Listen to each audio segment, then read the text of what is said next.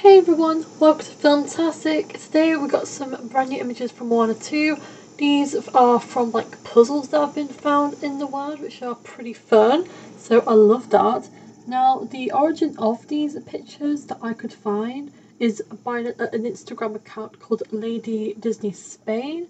Like I said, it's from some puzzles that have been found in like some other countries and they just are these really beautiful images of the characters and the latter few images I'm going to show in today's video are actually you know like 3D models you know of the characters from the movie. But it's really good you really get to see like a lot of the characters personalities and how they look. So it's really great to get these little images here and just and you know everything I see from Moana 2 just gets me more and more excited. I am absolutely loving and embracing the relationship between Moana and her sister. I'm loving Maui and his fan you know because one of the people on the book that Moana's working with, they're like a big Maui fan. I'm loving that dynamic already.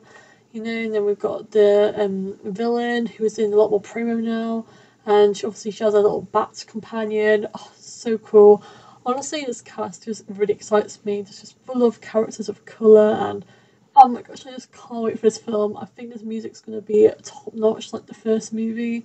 Uh, I'm not sure if the plot would be best in the first movie. It's not usually quite as strong in the second film, but I don't mind as much. I'm just happy and excited to see my guys Moana and Maui back because they're like one of my favourite Disney duos to ever exist. Like, they're just, oh, I love them so much.